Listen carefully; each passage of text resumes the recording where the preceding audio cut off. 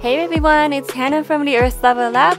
In this video, I want to share with you guys the beautiful camping spots on the Washington coast. Washington is located in the northwest of the US, and the Cascade Mountain Range divides the state into two parts Western Washington and Eastern Washington. I'll be sharing about the Western Washington, which has an oceanic climate. It has nice and cool summers and warm winters. Summers are mostly very beautiful, and you can see the clear blue sky. However, it is true that, that there are many cloudy and rainy, gray days throughout the year. Washington's nickname is the Evergreen State. The reason why is because about half of the state's land here is covered with forest. Major tree species are Douglas fir, hemlock, and western red cedar. What's interesting about Washington is that despite its location in the northwest of the US, there are rainforests due to the high precipitation, and there are many huge trees and moss covered beautiful forests. And so the great thing about the beaches of Washington coast is that these forests are right next to them. You can enjoy hiking during the day and at night you can camp right by the ocean. This is a campsite at State Park about 5 minutes from the Pacific coast. These state parks normally have the toilet and water. If you are lucky, they even have a shower. So even those who are not very used to camping, you will still be able to enjoy staying there without preparing too much. There are usually some hiking spots near the state park. Ask your campsite host and they will kindly tell you where you can go with your kids or depending on your hiking level. In many parts of the Washington coast, Smooth sandy beaches and beautiful natural formations of rocks are everywhere. The water is a bit cold, but we do have a nice surf spot. And sometimes you can even find whales from the beach. At the tide pools and jetty, you can meet many sea creatures as well. Just found a live crab. If he's gonna stay here, I think uh, he's gonna be eaten by seagull or something. So I'm gonna save him and then uh, release him by the jetty over there. Hope he survive. He's a little feisty now. Let's go, buddy. I'll come back.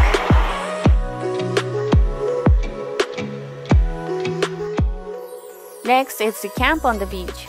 Most beach camps in Washington require a hike through the woods to their destination that usually takes about at least 15 minutes to an hour. Plus, this is not a normal hike, but you have to carry everything you need for camping and walk the trail. Nowadays, wearing a mask is essential even while hiking, so people who wear glasses can be quite miserable. The beach camp, you get to feel the whole nature and listen to the sound of the ocean. But I have to mention that the toilet and water facilities are usually at the trailhead of the hiking course and there are almost none on the beaches.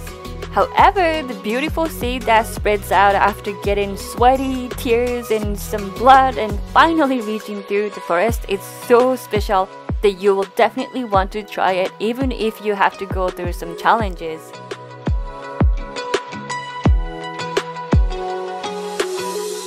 I love going camping alone, especially on the beach like this, just because I'm a little bit of a weirdo. But even if you go with your friends and families, I guarantee you that you'll have a fantastic experience there. This camp was on a full moon day, watching the full moon swaying in the fog on the empty sandy beach while listening only to the sound of waves was just so magical. By the way, there are things that are absolutely necessary other than the tents and food when camping on the beach. Those are the tidal table, bear can, and wilderness permits. Permits can be obtained from the state website and ranger stations. Also, bear cans are basically needed when camping in nature so we don't feed wild animals with human food, which later becomes harmful for each other. And the tidal table is especially important for camping on the beach to avoid you waking up in the morning finding out that the, your belongings are all submerged in the sea. Full moon and new moon days are the times when the difference between low tide and high tide is large. This time I woke up around 6 a.m. and then I found out that the seawater near the tent last night was pulled back about 200 meters, exposing a lot of rocks in the water. Such low tides are definitely another great opportunity to discover sea creatures.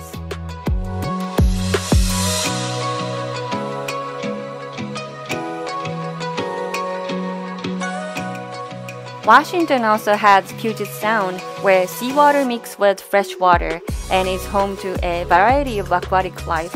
Many campgrounds are scattered around the bay and on the island.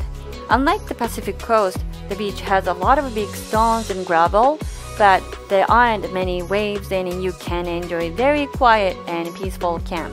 Ferries are also run across the bay, giving you the luxury of taking a ferry trip on your way to campsite. And last but not least, I want to share with you guys the thing that we could do together to fully enjoy our nature. When we leave the city and enjoy the outdoors, we really want to take a moment and learn that this beautiful nature is finite rather than infinite. And the place where we go is a precious home for wild animals and the people who originally lived there. There are many things that we can do to protect these places, reading the notes on the ranger station and the government websites carefully, and enjoy camping and hiking by following the rules and instructions. And leave better than you found it. It may be obvious or just a small thing, but these accumulation of tiny actions leads to the protection of nature and then it can be expressed as a thank you to the nature for giving us such a wonderful time. Hope you enjoyed the video. If you liked it, smash that like button. And if you haven't already, make sure to subscribe my channel so you won't miss new fun videos like this. And please leave comments and questions down below so I can make contents that you are really interested in. Thanks for watching. See you guys in the next video.